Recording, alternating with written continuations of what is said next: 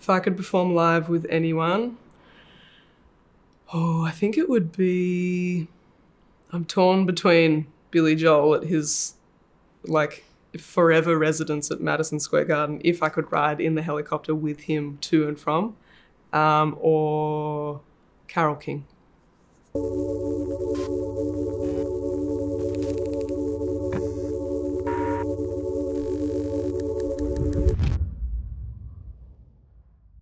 I grew up uh, on a farm outside a little town called Canowindra, which has a population of 1,800 people, I think. And my mum is a piano teacher, and she was always playing the piano at home. And I sort of started playing the piano at kind of age three or four.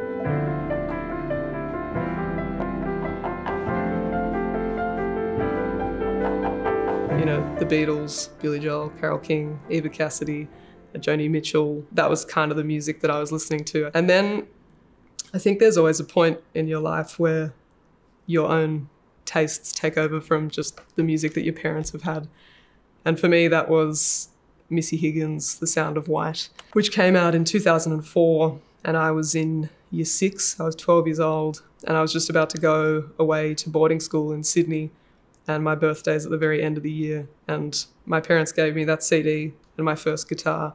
Um, and I went off to boarding school and learnt every song from the record. It was the first time I'd sort of heard music that confessional, and that has really stayed with me and, and informed the way I write music. Heaven, I know that we. Heaven,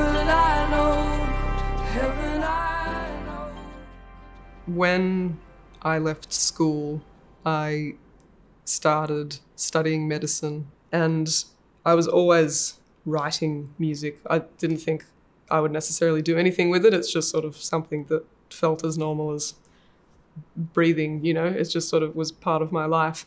And I was sort of going through uni and I just really was craving performing. was playing some covers and then sort of slowly started to slip my own songs in and um, and medicine was kind of running in parallel to that.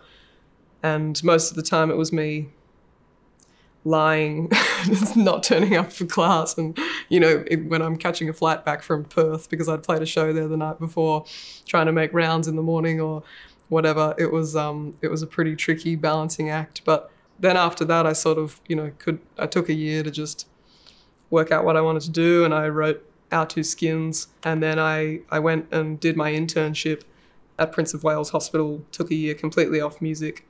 Um, and I really enjoyed it, but you know, I need to perform and I need to write music to, to really be happy. And so that's kind of what I'm focusing on at the moment. But the pandemic threw a bit of a wrench in there because as I was gearing up to focus back on music wholly, the industry shut down. And I was fortunate in that I did have this background in medicine and I spent the last two years in and out of uh, different hospitals and filling in. They just feel like these two sort of forces that pull at me at various points, and I just kind of try to go with the one that has the most pull. And um, for the moment, I'm very happy to say that that is music.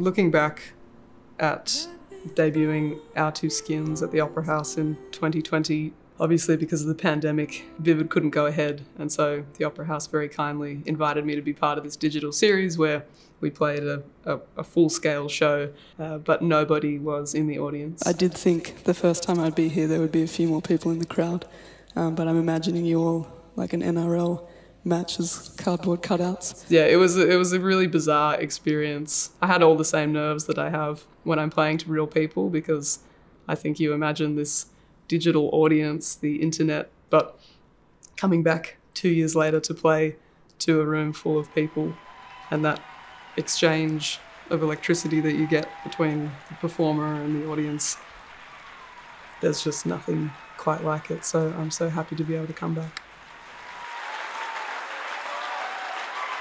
As I was writing the songs for that record, I sort of had this voice in the back of my head being like, how are you going to actually tell this story, you know? And I sort of wrestled with that for a while thinking how upfront I wanted to be about, you know, all these questions of identity and love and, you know, in the, with the background of Australia voting on same-sex marriage and and I just decided in the end to be like completely honest. And when I made that decision, there were a few weeks where I was like, oh man, this is going to really take on a life of its own. And that scared me. But I'm really pleased that I did that. And now, two years on, it's not as raw, but it's almost more meaningful. We made the record on my family farm where my grandmother lived. And I wrote this song about her. Um, she helped raise me and she passed away just before I made the record. And I'm going to think about her and play sandwiches. Thank you.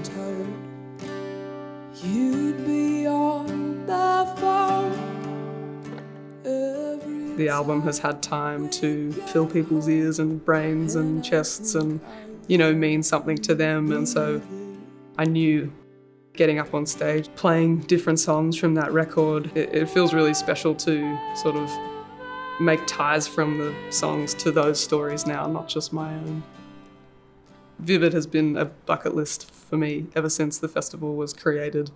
I think it's always been really, you know, visionary, and, and uh, I feel really stoked to be included in that.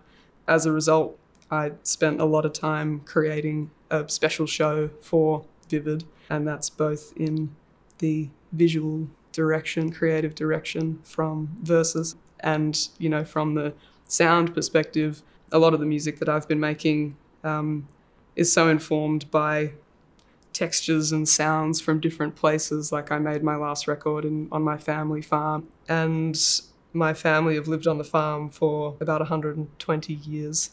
Um, so it's sort of filled with you know rich history, and I just sort of wanted to get all of those aspects and kind of make the sound more holistically. So why don't we experiment with some different microphones that you might not normally use in a live show?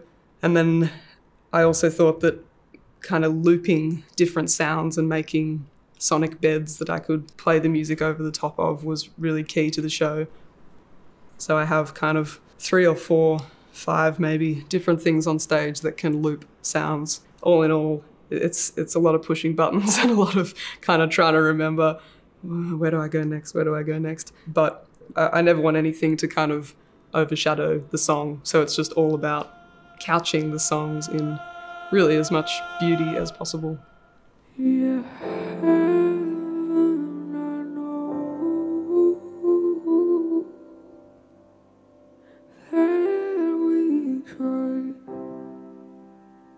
When I was planning the show for 2022 Vivid, two years in the making, I sort of like saw it as an opportunity to kind of look back on my whole career really. My first song that got any radio play in Australia was a song called Nothing's as It Seems. I think it was like November in 2014 and Richard Kingsmill on Triple J gave it its first spin. Tell us stories of our wildest dreams. Slowly but surely that really changed my my life and made music into a career and so I wanted to play that song and similarly uh, another song called Can We Work It Out. So I sort of, after opening the show with Aeroplane Bathroom, which is the first song from Our Two Skins, I kind of go into, I guess, my back catalogue. I don't feel like I've been playing music long enough to have a back catalogue, but I suppose that's what it is. I also just put out a new song called Way I Go, and I wanted to include that in the set as well. So, yeah, instead of being an album launch this this vivid show almost feels like you know a bit of a, a bookend for what's happened and kind of the first step in in what's coming you know i, I feel even though the, the pandemic has been a really challenging time i do feel very lucky in that you know the, the record i put out still seemed to sort of reach people and all i really want to do is write and play shows and uh, for the moment, I'm just going to sort of dive headfirst into that.